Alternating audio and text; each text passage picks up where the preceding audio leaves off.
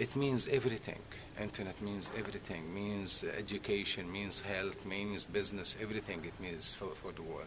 The future of the world is the internet.